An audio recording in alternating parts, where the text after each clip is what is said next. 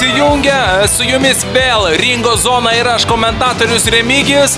Nepaisant roboto išpolio per ceremonijos atidarimą turnyras vyks, kojytės bus nukandinėjamos ir srutos lėsis. Na, o aš šiandien savo ruoštų esu puikiai nusiteikęs ir be abejo laukiu žudinių pats. Skubu pranešti, kad e, laukia dvikova tarp bioenergetiko Vango ir jo kaiminės. E, brutali kova, brutalus įdomumas laukia mūsų šiandien. Turnyrinė lentelė ekranuose. O breč! Jelki palki, kaip įdomu viskas, o dar net neatkrintamosios. Na, o dabar uh, trumpi reportažai, dėl ko įvyko konfliktas tarp kovotojų. Jau vaikystėje supratau, kad turiu ypatingų galių. Štai dokumentinis kadras iš Vango vaikystės. Na, kaip galima nemylėti tokių akučių? Kaip gražiai žiūri vizdžiukai į mus. Vėliau, klajodamas kalnuose, su šamanais ir sielos gyduoliais, aš nušvitau.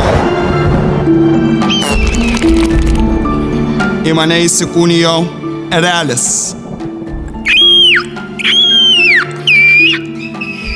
Aš labai nepatenkinta. Nuo tos dienos, kai šitą varną čia atsikraustė, tai man va pelėsis įsimetė. Užsiemu sielovadą, burto magiją, magiją, energetinės kovos, energetika. Mane galite rasti Facebook'e. Bangas, burto magas.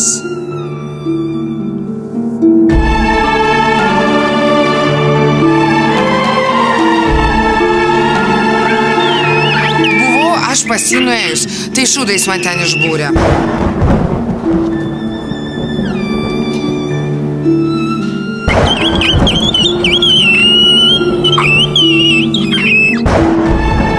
Nu ir ką tu čia išbūrėjai? Šonie paklausyk, jeigu tu man šitaip išburtum, aš pažadu, kad aš nedelsdamas tau iš karto smūgiuočiau į testiklus. Na, prieš jūs kovotojų charakteristikos. Truputį vango smegenytės yra lasdynų riešuto dydžio, na ką padarysi. Bet šiandien teks eiti riešutauti su kaiminė. Štai mažas burelis pizdukų. O čia, nu kur tu eini? Kas tave nešia į šitą galerą?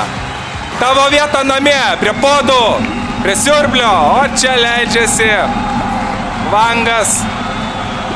Ir kaip simboliška, ai, kaip simboliška, gana desninga, desninga pradžia vangui, o čia yra metamos išmatos pizdukams, galbūt kaip suvenyras, kas žino, o čia lietai įsivažiuoja dvikova, kokius namų darbus pasiruošė abu kovotojai, kas atakos, atrodo pirma atakoja kaiminė, pliauškutė,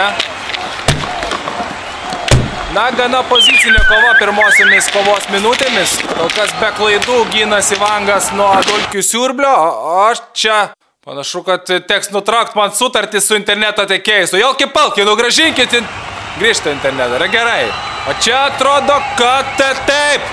Kurmi bus girdomas priešininkas. Litriukas ar kiek nematau dabar neįžiūriu talpos, kiek yra, na galbūt litras pusantro sunku pasakyti, bet visa talpa dabar vango burnytėjai. Sirgaliai bando apeliuoti teisėjų sprendimą, nu durniau, nėra čia jokių teisėjų, o čia vangas agonijoje.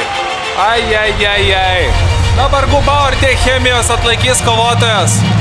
Na kągi, Vangas pagal pasą gimęs 1984 ir mirė 2018 Ringozo. Ne, pasirodo gyvas, liurlina vandenį, bando praplaut skrandį nuo kurmio, kaiminė paima jo lasdą, ar burs kažką, taip, išbūrė. Kokia gėda, kaip šitaip, su visais apatiniais, ant viso pasaulio. Durniau, nu ko tu čia demonstruojas, žiūrėk, akių režimą nustato kaiminė. O tuo tarpu berots problemos su varpa, o nemato, kas dėdas už nugaros, o čia kaiminė paima ir siurbia. Opa, pa, pa, pa. Laikyk, laikyk, akutė, laikyk, gal neįsiurs. Na, išsiurbė. Na, prisipažinsiu, man taip pat buvo netikėta, tačiau faktas išlieka. Vango reputacija šiandien suteršta. Akivaizdžiai kaiminės diena šiandien. Štai linksminasi, bėgioja po ringą. Nuostabi kova. Čia atrodo netikėtas manevras. Vangas daro menčių skrydį. Jis spraudžia kaiminę į kampą ir baksnuoja į saulės resginį. Šiurpus vaizdas. Sirgaliai taip pat pašiurpia. E, Kaiminė, taktinis manevras. Griebėsi inhalatoriaus. Kas bus? Ar spėsi? At nespėjo. At ir galėsi grįžtamo ir plauti indukus visiems. O taip va. Na pasirodo dar netokia beviltiška yra vangos smegenų atrofija. O čia šokis. Ir dabar naviguoja prie gulinčios kaiminės vangas, pasiemė siurblį. Ką darysi, dusinsi? Dusins. O kaipgi kitaip? Tiesiai per Adomo oboliuką ir užtikrintai veržia. Dabar pasirinko artimą kontaktą ir pasiteisino kontaktas, nes akis išsiveržė. Bye bye akutės. Ah, va, taip pat ir būna. Jau atrodė, kova pasisuks viena linkme, pasirodo viskas yra kiek kitaip. O čia žydį vangas demonstruoja, ką davė gamta. O čia gyvybiškai nefunkcionuojanti kaiminė. Ir išskrenda pergalingai vangas tiesiai į pusfinalį. Ojoj, net aš sukaitau savo šut studijai, tai stebėdamas kovą, o čia kaiminė skrenda į bedugnę. Daugiau jos nebepamatysim. Basta. O kitą savaitę jau pamatysime dar vieną kovą, kurioje susikaus robotas ir estrada. Pažadu, kad laukia įspūdinga kova. Na, o su jumis šiandien buvau aš, Remigijus. E, Sekite mus Facebook'e, o aš skubu su draugais e, valgyti lazaniją. Likite nesužaloti.